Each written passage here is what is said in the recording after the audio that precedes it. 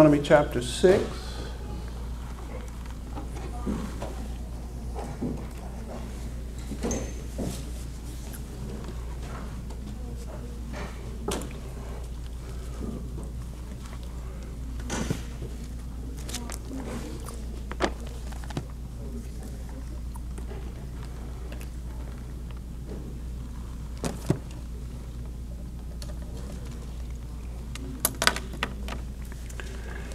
Now, did you get down to, was it verse 14? Remember?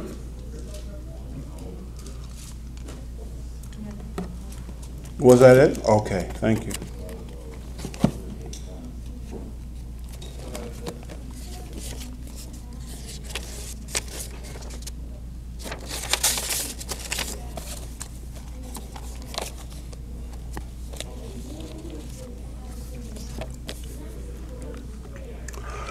All right, then let's uh, stand and then we'll read then from verse 15 to the end. 15 to the end.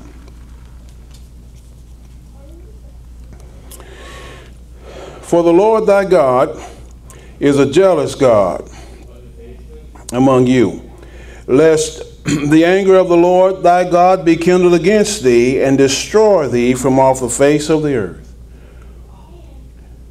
Ye shall not tempt the Lord your God as he tempted him in Massah. Ye shall diligently keep the Lord the commandments of the Lord your God and his statute, his testimonies and his statutes which he hath commanded thee. And thou shalt do that which is right and good in the sight of the Lord, that it may be well with thee, and that thou mayest go in and possess the land of which the Lord sware unto thy fathers, to cast out all thine enemies from before thee as the Lord hath spoken. And when thy son asketh thee in time to come, saying, What meaneth the testimonies and the statutes and the judgments which the Lord your God hath commanded you? Then thou shalt say unto thy son, We, we were Pharaoh's bondmen in Egypt. And the Lord brought us out of Egypt with a mighty hand, and the Lord showed signs and wonders great and sore upon Egypt and upon Pharaoh and upon all his household before our eyes. And he brought us out from thence that he might bring us in to give us the land which he sware unto our fathers. And the Lord commanded us to do all these statutes, to fear the Lord our God for our good always, that he might preserve us alive, as it is at this day. And it shall be our righteousness if we observe to do all these commandments before the Lord our God as he hath commanded us. All right, let's pray. For Father, we thank you now so much for the day. Uh, Lord, we thank you for uh, waking us up in the strength and being in sound mind, the ability to travel here, to have a local church. We thank you for the Word of God that we can read, memorize, and meditate upon, and practice and follow. Uh, Lord, and we ask your blessing now to be on this time as we meet together, not just here in this class, but Brother Ed and Sister Brenda as they teach their classes. Lord, that the word might be passed down and that we might be strengthened, uh, Lord, to love you and follow you with all of our heart, soul, and mind. In Jesus' name, amen. All right, let's be seated. Amen. Now, I have a. Uh, a note. I think it was um, you got down through 16. I think it was, if I'm not mistaken. I, that's my note. That you came down through verse 16. Uh, I passed. Would that be right? I think you did 14 to 16 last week, didn't you? Yes. All right. All right. Okay. Okay. There's no need for me to go back over that then.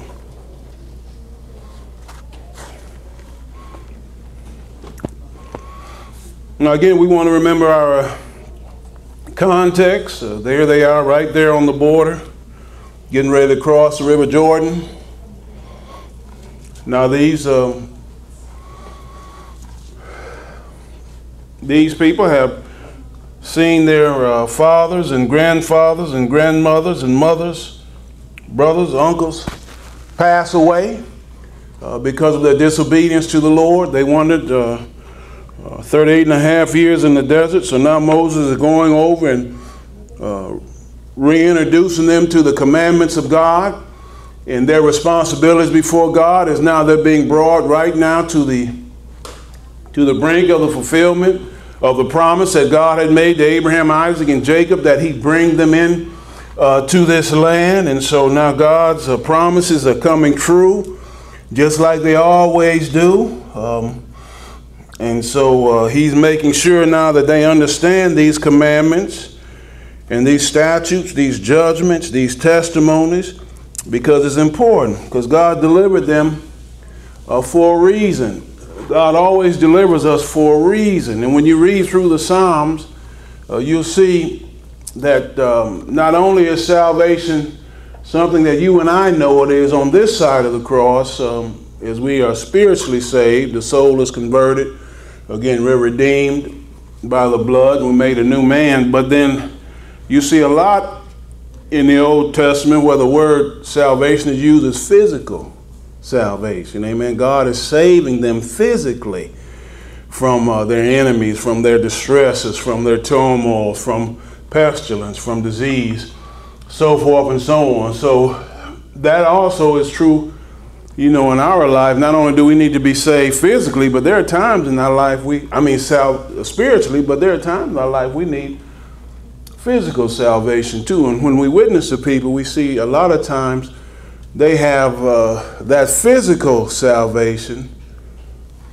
you know, confused with spiritual salvation. When you ask them, Have you been saved? Well, then they'll recount to you sometimes when maybe they almost drowned or when they were spared in a rollover. I remember a young man visited the church. He he said that he knew he was saved because uh, he was leaving Monroe going down 75 there, and he experienced a, a rollover. His car rolled over three times. I don't know what happened. Somebody hit him, and his vehicle rolled over three times. But yet he was able to walk away from it. No, nothing. Nothing was wrong with him. So he knew that uh, God had spared him at that time. And of course, that's true. He did. But that was the Lord physically sparing him. And of course, um, a reason was, again, the Lord definitely wanted him to come to know him as Lord and Savior, to be born again. You know, far as I know, that young man has not received Jesus Christ as Lord and Savior. He was uh, Roman Catholic, you know, so he was having difficulty uh, with the, seeing the distinction between Catholic Church and just the plain Bible, amen, because there's a lot Of course, the devil's deceiving, you know. So here they are getting ready to go in. And so Moses saying, Well, look now, here it is. So let's pick it up, verse 17. He said, You shall diligently keep the commandments of the Lord your God and his testimonies and his statutes, which he hath commanded you. So again, it's not something that you were to be indifferent toward or just something that you were to put part time. It was something that they were to be diligent about. See, diligent about these things of keeping and be uh, really mindful of them. We read earlier in the chapter where um, in verse 8 it said, Thou shalt bind them for a sign upon thy hand, and they shall be as frontlets between their eyes. In other words, they were supposed to be so on the mind that, you know, was supposed to guide what their hands did. They were supposed to see things, you know, the way the Lord saw them. They were to diligently uh, keep them. Again, that's why the Bible always, uh, you know, encourages us and ad- admonishes us that we should be meditating upon the Word, upon the law, upon the Word of God. Day and night, we should be thinking about it because that helps us diligently keep it, to have it ever before our mind, in our heart, mind, and thinking about it. It's something that we're to be diligent about. Again, uh, this thing of living uh, for the Lord is not just. Um, something that we do on Sunday or Thursday. It's supposed to be something that you are doing every day. See, again, and as we see now, these statutes, these commandments, these testimonies, these laws were meant for their everyday life.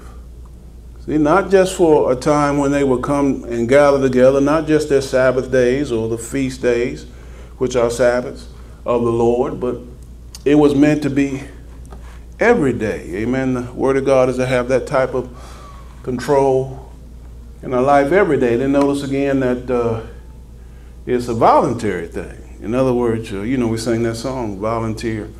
Who wants to be a volunteer? Well, again, that's something that you do. Amen. You diligently keep these things. And it's a heart matter. See? It's a matter of the heart. You shall diligently keep, see, guard, obey the commandments of the Lord your God and his testimonies and his statutes, which he hath commanded thee. And again, I know we do emphasize it over and over again, and it's really just for our encouragement. You know, if you don't have the commandments and statutes and testimonies of the Lord, if you're not sure you have them, then how could you really keep them? See, how could you be diligent about keeping them if you're not quite sure that you have them? Did the Lord really say that? Is that what we really should do? I was, um, you know, I pressed online, the trumpet was online. I pressed uh, the trumpet there, and they had a, an article about uh, a preacher that was preaching the funeral of a man, and he just went on to tell everybody that, uh, you know, that it was a, a joke to think that this man died and went to hell, or he died and went to heaven, because there is no such thing as hell. There is no such thing as heaven. And, he, and I didn't look at the video, they had it, but I didn't look at it, I just read the article. And uh, he was getting a positive response from the crowd, you know, that that's the truth. In other words, his idea was there is no God didn't give us a Bible to tell us how to stay out of hell and how to go to heaven, but how to have our heaven or hell here on earth. In other words, he's not really interested in heaven or hell, but he was interested in being good and uh, living good and seeking good. And, you know, a lot of, you know, people in church, you know, not even good. And, um, and so he was going on that, and, uh, but I'm sure he got that way because somehow or another down the line, he became convinced he didn't have a Bible. Amen? And so he was just going to do the best he thought he should do what the Bible meant. I've seen another uh, example of that. This was a true story. It was a documentary on, um, well, it was a movie on Netflix about a, a, a high ranking, I forget the gentleman's name now, but it was a high ranking uh, Pentecostal preacher. He was holding revivals all over uh, the country, uh, had a huge church, uh, very well respected. And um, it was during the time they were having that genocide in Rwanda, the Hutsis and the Tutsis killing each other. And if you ever get a chance to see Hotel Rwanda, I think that was, it really explains what that was and all of the murdering hundreds of thousands of people killed, hundreds of thousands uh, killed there.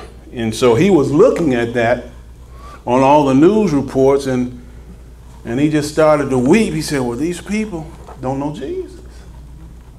And then he said, How could a loving God let all these people die without knowing Jesus and going to hell? And from that thought, he then changed all of his doctrine um, that um, that everybody's going to be saved because he couldn't fathom the thought that people these all of these people died and went to hell. One, you don't know if all of them died and went to hell. You know, well, I'm sure quite a few of them did. You know, um, and so he changed his entire doctrine, and he has, you know, of course, and you can do that in those verses. You can find universalism, you know, that everybody's going to be saved, including the devil. And he became a Unitarian. You know, eventually, of course, he lost, you know, the Pentecostals, they still believe in heaven and hell, most part in the Bible. So he began preaching that. People began flocking out of that church left and right.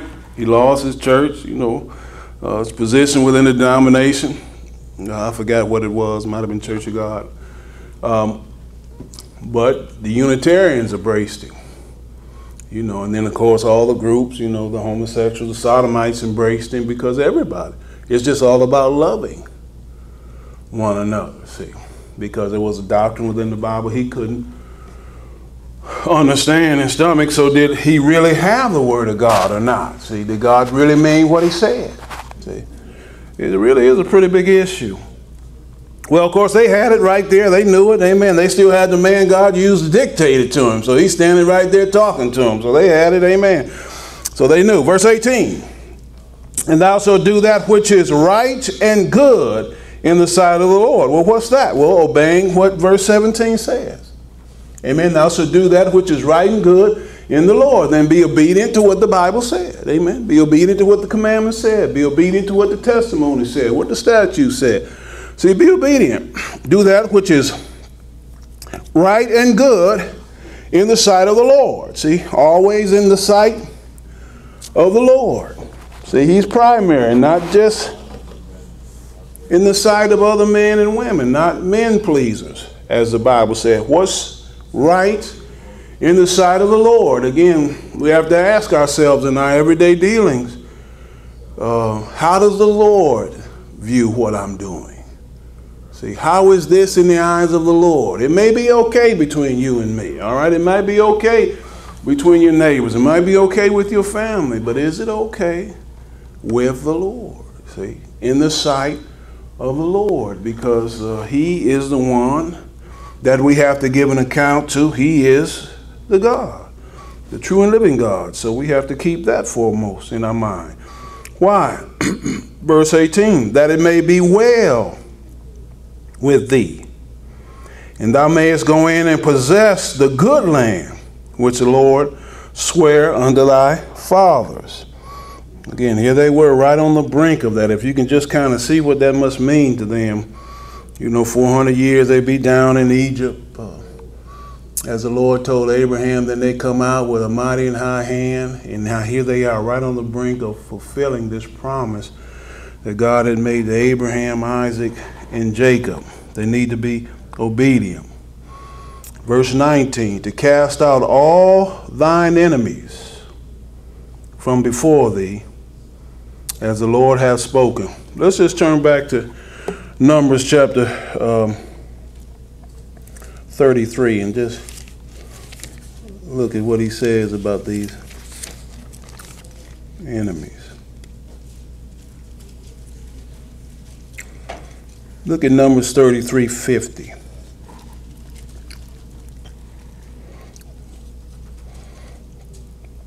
And the Lord spake unto Moses in the plains of Moab by the Jordan, near Jericho, saying, Speak unto the children of Israel, and say unto them, When ye are passed over Jordan into the land of Canaan, then you shall drive out all the inhabitants of the land from before you and destroy all their pictures and destroy all their molten images and quite pluck down all their high places. And ye shall dispose the inhabitants of the land and dwell therein, for I have given it you the land to possess it. And you shall divide the land by lot for an inheritance among your families and to the more you shall give the more inheritance, and to the fewer you shall give the less inheritance. Every man's inheritance shall be in the place where his lot falleth, according to the tribes of your fathers you shall inherit it. But if he will not drive out the inhabitants of the land from before you, and it shall come to pass that those which ye let remain of them shall be pricks in your eyes and thorns in your sides, and shall vex you in the land wherein you dwell. Moreover, it shall come to pass that I shall do unto you as I thought to do unto them. So again, these tribes, these seven nations, which he's going to mention in the very next chapter, chapter 7, were the enemies. And uh, the Lord gave them 400 years to get right. I think you can read that over in, in um, uh, Genesis chapter 15, where he said the cup of the Amorites were not yet full. Now I thought it was interesting that he said the cup of the Amorites because when you when you get to chapter 7, you read it's seven nations mentioned. But in Genesis, he just mentioned the Amorites. So I was wondering, does the Amorites then mean all seven? Or were they the last nation to apostatize? In other words, had all the rest of them by that time already gone down the tubes.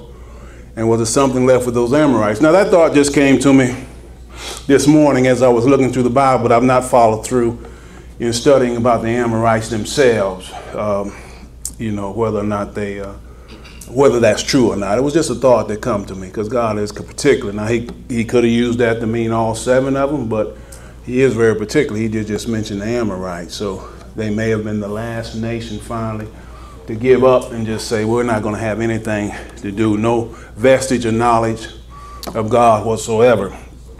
And of course, as this part of the Bible, as they go in and destroy these seven nations, that really give a lot of people uh, trouble because they consider it to be genocide, and the Lord destroying everything down to the last man, woman, and child, and even uh, some of the cattle, uh, depending upon which particular cities God would allow them to take the spoil. Some he would, some he wouldn't. Jericho, he wouldn't let them take anything, you know. Uh, and so it gives a lot of trouble. He said, go and destroy uh, your enemies. Again, they were God's enemies. And again, we have to always remember at one time, again, they didn't know the Lord. Everybody knew the Lord. Everybody was uh, monotheistic. There was no, you know, uh, polytheistic gods until after the flood. Everybody was monotheistic. Everybody believed in one God until the flood. You know, then after that, then you find gods popping up uh, and of course, we uh, know they have to be connected with these fallen angels. And so when you, again, just previously up there, you know, God is speaking to them because I am a jealous God. You know, that they weren't to have any other gods before them. And when they go into this land, they got all of these idols and all of these pictures and things which he told, which we read right there, you know, pluck them things down, bring them down, burn them. Don't leave anything standing. Uh, see, uh, because uh, you know these particular people where we see these giants have been given over to these uh, these fallen deities, these uh, hybrids, whatever you want to call these fallen angels. They were given over to that, and um, they just reached a point of no return. There could be nothing done to it. They were just completely infected throughout their whole society. It wasn't just that God that they didn't want to worship God, they were completely given over. And you can see that from uh, the um, uh, statements in Leviticus chapter 18, Leviticus chapter 20, what they did, how they did it, who they did it to. Um, you know, they were completely given over to this type of culture. In other words, the, uh, these fallen angels, these giants, and these things had an easy go. They just embraced this. And so, really, that cannot be left out of the statement why God said, go in and destroy them. Again, when you think about, uh, again, I didn't necessarily uh, see the goal, but when you think about all of the earth, three quarters of the earth is underwater. 71 to 75% of it is all underwater. They haven't even begun to search out those things that are buried in the depths of the sea. God flooded this thing and buried something he didn't want known. See, and even then, when he when we speak about it, uh, you know, again, we see the Bible truths about it, but it's really dark and it's really uh, evil and things like that. And he buried this stuff, and every now and then they find things down there uh, that are incredible. See, but God didn't want to know. He flooded the thing out worldwide flood. And so these were enemies, and they were to go in and destroy these enemies and pluck down everything. And if they didn't do it, it would be pricks in their eyes and thorns in their sides. And of course, we saw that's what happened. They didn't do what the Lord told them to do. And they made treaties and they made, uh, which we'll read about, you know, if you get into you know, the book of Joshua, they made treaties and things with them uh, and decided that they live with them because it was a little bit easier than fighting them all the days of their life. And it cost them down the end, you know, caused them to stumble. Okay. So again, they had this thing of battle. Uh, we go back to uh, Deuteronomy chapter 6. They were going to be fighting and casting out. And of course, you know, you and I make a lot, we can get a lot of um, instruction in righteousness. We can make a lot of application in our lives. You know, we're going to see down here a little later, the Lord redeemed them and brought them out of Egypt. And so that didn't set us on easy street. Amen. In other words, things didn't become easier for us. Now we really entered into the battle. We didn't know there was a battle going on. We got saved. Now we realize, uh oh, man, now we realize that we had been walking according to the prince of the power of the air. The Bible says, walking according to the course of the world, the prince of the power of the air, the spirit that now worketh in the children of disobedience. Well, once we got saved, now all of a sudden we uh, got introduced to this war. And now we saw, man, this thing is a struggle. It's trying to live for the Lord and do right um, in every which way to do right. You know, uh, even Brother Bruce, we were just talking about it. You know, tempted, you want to go work somewhere, but you know, easy. Maybe I can go work in the carry out, but everywhere you go, they're selling. You know, it's just a fight. Everywhere you go, cigarettes, liquor. You know what I'm saying? Everywhere, pornography. Selling that. Can't work in there. They selling pornography in the store. You know, it's just like, man, it's a fight everywhere you go. Amen. Again, but uh, to be in that battle. See, again, there's no discharge from war. And again, the scriptures clearly, in that context, uh, you know, we're all going to die. If the Lord don't call, the trumpet don't call, and He don't rapture us out, we're all going to die. You know, and so we're going to be in this fight until the end. Amen. And so we can buckle it up and you know get our armor on and keep on swashbuckling for the Lord. Amen. But if we uh, retreat, uh, the enemy don't retreat, brother. Uh, he gonna keep coming, come right up underneath your door, come right in your house, get in your mind, get in your heart. He ain't gonna retreat. So until you just cry uncle.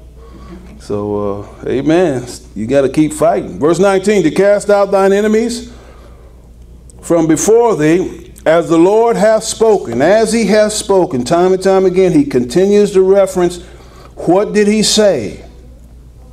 Who did he say it to? What promises are there?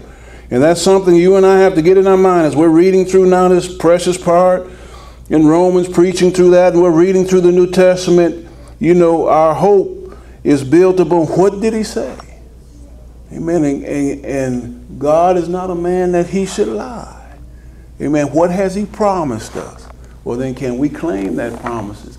Are we claiming on that promises? The song, Standing on the Promises of Christ my Lord, are we standing, you know, on those promises? Can we readily speak about those promises? Again, I have certain Bible verses, sections in the scripture. You know, I'm teaching my young, the young boys there in the Sunday school class that there has to be certain foundational passages in your life. In other words, there are certain passages you say, I'm, I'm going to build my life on these. Now, again, we have all of the Bible, but in order for it to be to work, we have to be certain things I know I'm going to build my life on. Because sometimes, you know, the, so, the storms come, the winds beat, and everything else.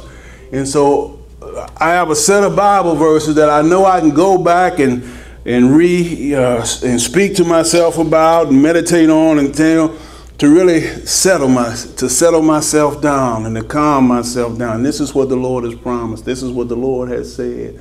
See, uh, this is what He's spoken. This is what God said He would do. He is doing. He will do. See, it's all based upon the truthfulness. How truthful is God? See, how sure is He? He's very sure, very true. Amen. And again. Um, his word is very pure, the Bible says. Not just pure, but very pure, Psalms 119 is very pure. So that's the thing we come back to when everything gets kind of thrown out of kilter. You know, and it seems to be a lot of doubt. Come back to the word. Don't go to your own mind. See, come back to the word. Come back to the word because you get lost in your mind. Amen. You know, you know, a tangent to sneak out this way, and then a tangent to sneak out that way. Some will sneak out that way, and before you know it, you built this whole elaborate system. This is how it is. Well, you know, it's not anything like that, but you know, we have the ability to do that in our mind. But now the Bible is clear, it's pure, it's right, and God can bring us back to center, amen, on His word. Now, I like what verse 20 says, and when thy son asketh thee in the in time to come. saying, What meaneth the testimonies and statutes and the judgments which the Lord our God hath commanded thee? In other words, they were to be living in such a time, they had children right there, right now, that they didn't have any idea what they, why they were doing what they were doing. They were just following their dad and mom. See, we're going to go on to Rear Jordan. You know, we have these statutes, uh, what we're supposed to do for Passover, you know, what we're supposed to do for the Sabbath. See, well, they didn't understand any of that. They were just doing what dad and mom were doing, they were following it. But there was going to come a time in their life when their son would look at these things and say, Well, why are we doing this? See, why are we doing this? And then you give them an answer. Why? And of course, the Lord told them exactly uh, what to tell them. And again, that's, um, you know, something that's important, again, in in your life, in my life, for those of us who have young ones. You know, I don't have any young ones anymore. I have some grandchildren, um, but you know, I don't have any young ones. But it's going to come a time, like right now, the young and your children really just doing what you do. Amen. That's what Mom, we go to church. We sing these hymns. We we put money in the plate. You know, you give that gospel tract to the lady in the store you're reading your Bible, but then there's going to come a time when they say, well, why do you do that, Mama? Why do you do that, Daddy? See? And of course, that's the moment then you teach them why. Amen. This is why we do it. And I, re- I really like that um, uh, because that's our responsibility. The Bible says, at least to son and not son's son, that second generation, you know, to pass on why we do. We're to know why we do what we do. The Bible knows nothing of blind faith. Nothing at all. Why do you do? I know why I come to church. Amen. And I know why I will put money in the offering plate. I know why I gave, you know, a couple gospel tracts out yesterday. I know why I pray. Amen. I know why I don't do certain things. Amen. We're to have a why. And we're to know why. Again, God isn't uh, interested in people who are ignorant. Amen. The Bible causes us time and time, be not ignorant, brother, of certain things. Amen. Of course, again, this is the day and age in which we live. So many people are so ignorant, Christian people, of sound Bible doctrine. They're ignorant of that now to no fault of their own because they're not getting much in the places that they're uh, going. I was talking to a dear friend of mine, Dave. He called me yesterday. Uh, we've known each other for years now. Um, you know, he took me out for Father's Day. We went to the Golden Corral. He's a dear friend, dear brother. Well, anyway, he was at the gym. He works. He lives on the east side. He's at the gym working at the, working out. And he asked. Uh, he was giving out a couple gospel tracts while he's in the gym. And the fella said, Oh, no, I don't need that. He said, Yes, you do. You need it. And uh, he said, No, no, I'm saved. He said, Oh, he said, Well, praise the Lord. Uh, you know, I, now, for one, again, I, I never understand a Christian rejecting a gospel tract. Take the tract, you know. Oh, praise God. Thank you so much for giving it to me. You know, I really appreciate your witness. And do that to encourage a person. Never say, Oh, I ain't taking that. I'm saved. What? You know, and I tell them, and when they tell me, I say, Well, then you take it and pass it on you know. And he said, oh, no. He said, I'm saved. And, and so he asked, he said, what church you go to? So I named it, you know. He said he went to Cedar Creek, you know. And so the brother told me, he said, yeah, I went out there a couple times with my sister. He said, but uh, he said, I took my Bible. He said, but I think I was the only one that had a Bible. He said, nobody had a Bible. He said, oh, no, we don't use that. Our, our pastor preaches on current things. You know, and then David, you know, he said, I didn't say nothing else to him, Brother Keith. He said, I didn't know what to say to be kind. You know, I was thinking a lot of things in my mind, but he didn't say anything. And I said, now what a statement. No, we don't use that. What? You don't even use the Bible at all. My pastor preaches on current things. Wow. So here's a whole, I mean, they got like five or six campuses all around Toledo, you know, Oregon, all over, you know, satellite churches, you know, where they play a video from the mother church. And uh, I mean, here's a whole you know, thousands of people, they're not getting anything. You know, they're not getting any Bible whatsoever. Amen. So what in the world then can they pass down? Why do you do what you do? They don't have anything to, to pass to their children. So you can see what that generation is going to be. You see what it is already. Well, now you can see what that generation will be as they look for why. You know, why do we do what we do? You know, I thought that was just so sad. He said, "No, we don't use it." Didn't admit it. No, no, we don't use that. Our pastor preaches on current things. oh my goodness. Well, can you get any more current than the book of Revelation? I don't think so. Amen. We're living in those very times coming upon us. Amen. Verse 20, When thy son asketh thee in time, what in time saying, What meaneth? Mean the testimonies and the statutes and the judgments which the Lord our God hath commanded you. Verse 21 Then thou shalt say unto thy son, We were Pharaoh's bondmen in Egypt. And the Lord brought us out of Egypt with a mighty hand. Again, he clearly is always reminding them. Now, that really is, you know, that Sabbath was given to them not only uh, that they were sanctified, but uh, Moses here lets them know that the reason that they had that Sabbath day every week was that was a reminder to them that they were bondmen in Egypt. You already read it. Look back, I think it's in chapter 5. Let's turn back. Um, um, look at uh, 12, chapter 5, verse 12. Keep the Sabbath day to sanctify it, set it apart, holy, as the Lord thy God hath commanded thee. Six days thou shalt labor and do all thy work. But the seventh day is the Sabbath of the Lord thy God. Now, again, the Bible clearly tells us that this was a sign for the nation of Israel. Amen. This is for them. For them. Uh, Ezekiel 20 20.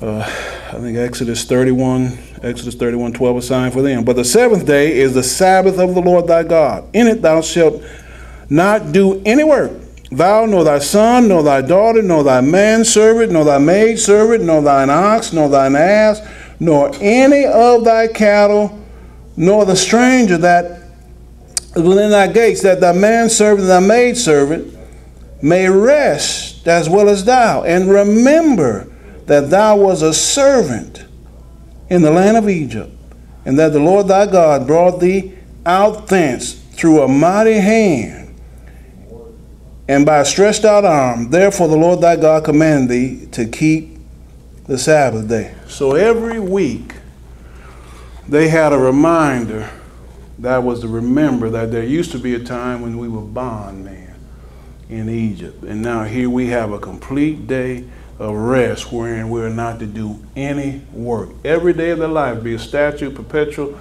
uh, covenant with them throughout all of their generations. Now we know they violated this in several of the other Sabbaths. That's why they came in, the Assyrians came in and took them out. The Babylonians came in and took them out because they violated these Sabbaths. But the thing is that that was something that they would remember every week that God delivered them.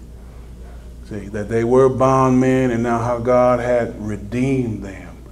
And so, uh, and that's why so readily we can take, uh, use that and make application to our own redemption what God is doing. Notice that we go back here to 621, and the Lord brought us out. Amen. He brought them. He paid the price, the blood. He redeemed them. That's what redemption is. Amen. He brought them out of Egypt. And I was thinking that, you know, today as I was, you know, rethinking and looking through these things, you know, just like we don't meet on the Sabbath day, but the first day of the week because the Lord Jesus Christ rose. And, um, you know, we get busy about church, a lot of things that we have to do and make preparations and come and drive and things like that. But just like he wanted them to remember that you used to be bondman, and now everything that you experience when you go into the promised land and you get this land you didn't work for, you didn't have a dream about, uh, you never even thought about all these houses, all of these uh, vineyards, you know, all of this uh, land flowing with milk and honey He said, once a week, I want you to remember you used to be a bondman. I don't want you to do any work. Everybody in your house, your cattle, everything, shut it down. I want you to remember that once a week. What I did for you, bring you out and bring you into this special place. And so I was thinking about that very same thing for you and I, you know, every Sunday. We get busy and we get busy about the, the process of coming to church, and, you know, myself included, in all of the responsibilities that we have and things that we have to do. But do we stop and think, at least once a week, do we stop and think what the resurrection of Jesus Christ means to us personally? See, what he really did for us. Again, we're reading through many of these things now. We're preaching through the book of Romans, being re reminded of all of these things, what God did for us through his Son, the Lord Jesus Christ. But what the resurrection of the Lord Jesus Christ means to you and I personally, how he brought us out, how he delivered us from bondage, you know, and uh, what that means to us today. What are the things that we are enjoying today, having been saved uh, and having been uh, taken, the Bible says, from the kingdom of darkness and translating the kingdom of light. And do we stop to really think and meditate? You know, I had to ask myself, well, do I think on this at least once a week. And this course should be the day we think about it. Amen. We're reminded of. That's why we come to church because so many things get busy throughout the week. You know, we get our minds get crowded, but we come on Sunday because we want to be reminded of what it is the Lord Jesus Christ did for us and the great place that we find ourselves in, even though there may be circumstances about us, you know, trouble, storms, things like that. That's just life you know, the problems of life. We all have them. But yet once a week can we be reminded, not I mean, and not just cursory thoughts, but do we stop and have some time where we just meditate and and just deeply think upon these things. And I'm sure during that time, you know, it'd be a time when they would thank the Lord for what He had brought them out and what He had done for them. And you know how eventually, if you're uncareful, those types of things, then uh, you become kind of callous toward those things, you know, and you just take it for granted. You know, again, this is how it always was, so forth and so on. But it wasn't always this way, amen. We didn't always have it as good as we got it uh, in our life and our responsibility and our blessings with the Lord. All right, we'll stop right here. Uh, then in verse number 21.